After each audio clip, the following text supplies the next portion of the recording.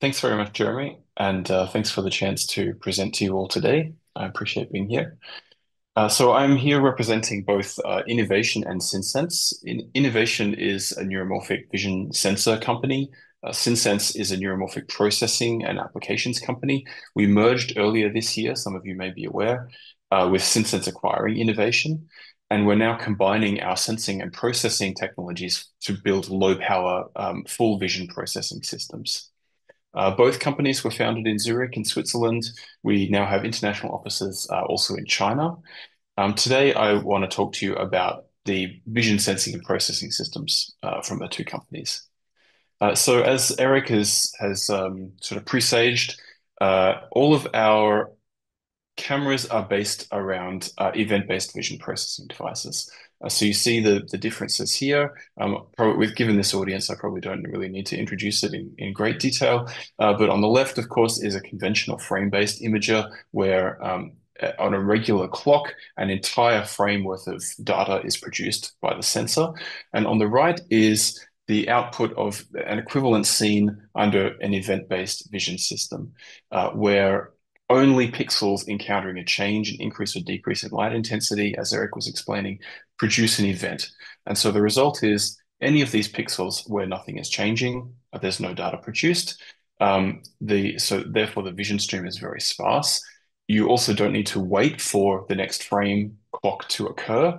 Uh, so you have very low latency, you have a very high um, effective frame rate. Uh, and, uh, and as Eric was mentioning, we also have high dynamic range um, across the image because each pixel operates independently. And so a scene that has uh, both bright and dark areas in the scene can still have equivalent sensitivity um, at both of those dark bright and dark areas. You don't need to have a global uh, shutter, for example, global um, global exposure. Uh, we have local exposure per pixel, so we have we have much higher dynamic range uh, in in complex illumination scenes. Um, these systems are, are known as dynamic vision sensors, of course. Uh, iniVation was the first commercial DVS, dynamic vision sensor company. Uh, we have a range of sensors that we produce over a range of resolutions. Um, over the years, we've also produced hybrid vision sensors, which combine uh, intensity imaging and event imaging. We offer these as industrial uh, camera modules. We have a very flexible uh, software support platform um, that, that, that, supports uh, application development, data extraction, uh, camera configuration, and um, uh, etc. Uh, we've distributed our cameras and our technologies to more than 800 customers globally, uh, including market leaders in their fields, and we've won a number of, of design and innovation awards over the years. Combining the technology between SynSense and iniVation, we've produced a Speck, which is the world's first uh, neuromorphic in-sensor vision processing system. So combines uh, a 128 by 128 pixel DVS sensor. Uh, so you see the example of the, the DVS sensor um, image recording on the left here with uh, some custom cores for event-driven convolutional neural network processing. So this allows us to deploy a full vision application into the sensor uh, itself. You see the little sensor module here is 10 by 10 millimeters. It's a mobile camera form factor. Here we can deploy a full vision application for real-time inference running in the sensor um, at only a few milliwatts. And then the entire camera package becomes a smart sensor. So instead of outputting a continuous vision stream, you're just outputting the sparse, very sparse result of inference, for example. Uh, in this particular example, is a face, has a face been detected or not?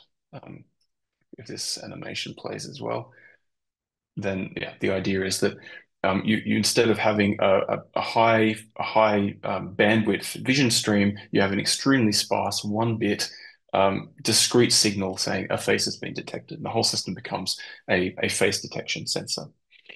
Um, so this is based on around convolutional neural networks. So anything you can train a convolutional neural network application to perform, for example, gesture detection, uh, face detection, behavior detection, anything you can do based on vision with a CNN, you can deploy into Speck and having having uh, real time low power inference running at just a few milliwatts. Uh, we have a range of applications for our uh, vision sensors and uh, uh, using event-based vision uh, for low for low power, high speed sensing and processing. Um, the first one here is from one of our collaborators at Khalifa University. They've built a, a high speed uh, hole inspection system based around our DVXplorer camera. Uh, so the usual approach for hole inspection is to use a high resolution camera uh, to pause at each hole, obtain a high resolution image, analyze each image in turn. Um, and, and, so th this, this of course takes some time. Uh, using the extremely high effective frame rate of a DVS camera, uh, you can see that we're able to scan the camera very rapidly past a, number of, of uh, countersunk holes for inspection. And where a, a conventional uh, frame-based imager would have extreme motion blur in this scenario, the DVS-based imager um, obtains uh, event uh, motion blur-free frames um, based on based on event detection.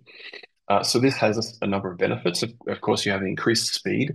You can scan past uh, a large number of holes very rapidly um, and perform the analysis with at, at, at least 10 times faster uh, than with a conventional system. And of course, there's much less data to analyze. Uh, based on the uh, event-based imaging, we have just the sparse event stream coming out. Um, we, we can pick out the holes very clearly. Uh, the rest of the image is not producing any data, and so there's much less data uh, to analyze for each hole. Uh, the next application is uh, one we've developed for live tracking of active infrared beacons. Uh, which we've deployed already at a reference customer. The concept here is that we have a lot, a number of these um, active LED, infrared LED markers, each of which is flashing uh, an encoded ID. Um, and this is detected by the DVS camera um, by by ignoring uh, um, ignoring static data and just looking for uh, events which are encoded at the at the um, flash rate of these active infrared beacons. Uh, so we can track a, a, large number of active beacons um, over a large space in each camera. Uh, our first reference customer is uh, is an ice rink where we have a large number of skaters being tracked simultaneously. Uh, but this system can also be deployed for um, a large number of other active beacon tracking applications, for example, drone position tracking, um, robotic asset tracking in warehouses, uh, tracking, live tracking for spacecraft docking, etc. Uh, and here, of course, we're, we're leveraging the uh, low power, low latency um, aspects of, of, of event-based imaging. I have an example here, an application uh, for in-sensor processing based on our, our Speck device, um, combining the DVS sensing plus the CNN-based uh, vision processing in sensor. Uh, we've deployed a, a, number of, of these uh, similar attention monitoring scenarios where the, the goal is to uh, detect the, the uh, some aspect of the behavior of a person sitting in front of a camera. We deploy this, for example, for in-cabin automotive um, driver and passenger behavior tracking, where the the attention of the driver is defined as the driver looking uh, directly at the windscreen. Distraction would be the driver looking away. Um, passenger behavior detection also for, for when the passenger is doing some something to distract the driver. Uh, these are all applications that require continuous monitoring um, with low latency. We would like to be able to detect inattention um, with with essentially human real-time latency, meaning less than 100 milliseconds, and we'd like to be operating continuously at low power, of course, which for us means means less than uh, 10 milliwatts, ideally much lower than this. Um, here you see the uh, the system the system running for face detection.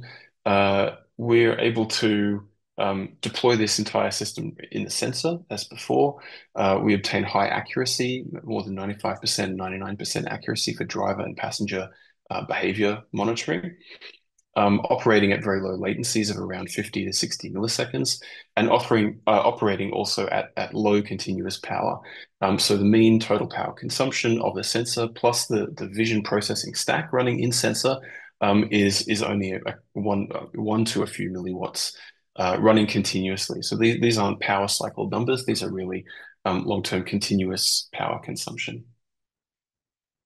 Uh, finally, we have a we've deployed a prototype system for eye tracking based on our DVS imaging um, and and Speck based processing. This is based on real-time uh, tracking of the pupil location, providing very low latency gaze direction estimation. Uh, obviously, latency is very is very important here. We're deploying this for uh, AR, VR, wearable glasses applications. Um, so obviously latency is important. You need to do real-time eye tracking. Uh, low power is of course important. These are, are battery-powered wearable devices uh, for AR, VR systems. And physical size is important. So we, we have a, a very small, very compact sensor module here, um, which is which is uh, ideal for the eye tracking uh, use case. Uh, so thank you very much. Uh, I appreciate the chance to present to you. I'm very happy to uh, to answer any questions you have about the technology.